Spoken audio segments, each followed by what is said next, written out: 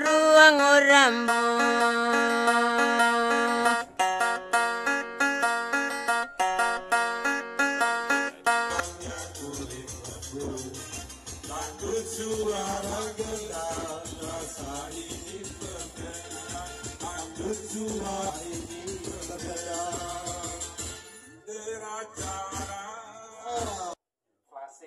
Sebelas Februari lalu, Bupati Sumatera Timur Christopher Praing dengan didampingi oleh sejumlah pejabat Forkopimda termasuk di antaranya Ketua DPRD Kabupaten Sumba Timur Ali Muhammad secara resmi menyambut kedatangan atau berlabuh perdana KM Dharma Kartika 5. Bupati pada kesempatan itu sempat berkeliling dan melihat dari dekat sejumlah fasilitas ada di kapal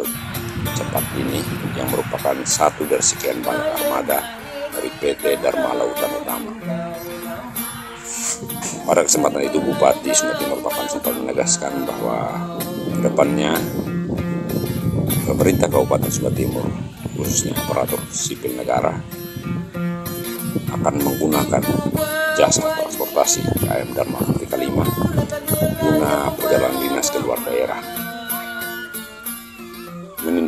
menindaklanjuti statementnya itu kemudian pada tanggal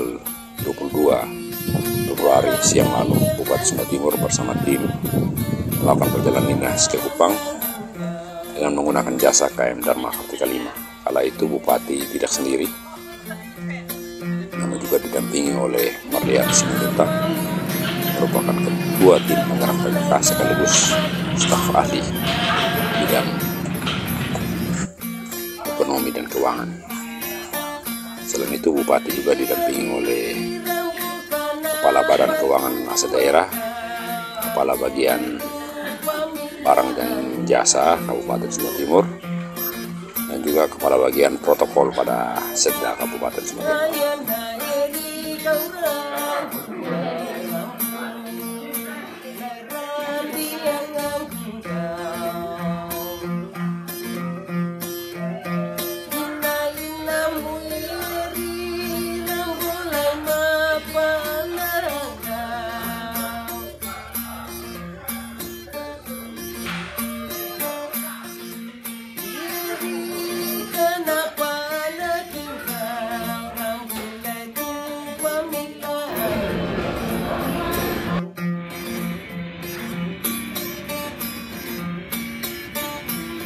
I am the idiot.